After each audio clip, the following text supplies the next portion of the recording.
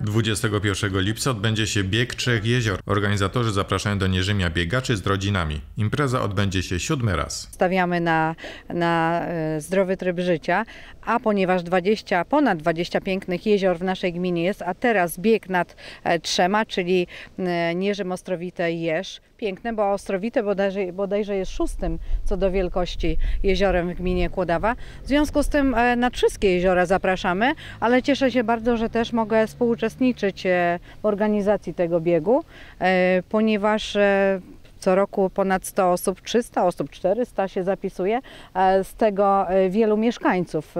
W związku z tym myślę, że trzeba stawiać na takie imprezy. Zapisy do biegu odbywają się drogą elektroniczną. Limit uczestników został wykorzystany, ale jak zapewnia dyrektor Ośrodka Sportu i Rekreacji, osoby, które nie zdołały się wcześniej zarejestrować, a pojawią się w dniu startu, będą mogły uczestniczyć w biegu. W dniu biegu często zdarza się, że parę osób, paręnaście nie dotrze z jakichś tam względów, bo tak jak mówiliśmy, e, to nie tylko jest e,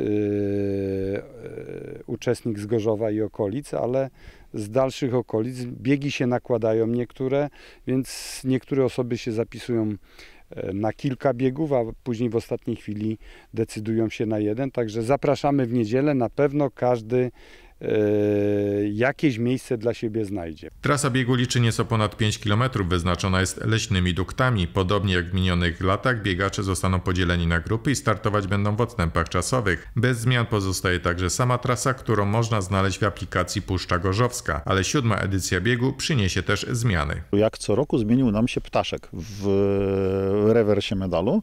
Mam taka fajna inicjatywa, że dla osób, które tutaj uczestniczą w tych wszystkich biegach, myślę, że to jeszcze taka coraz ciekawsza kolekcja robi.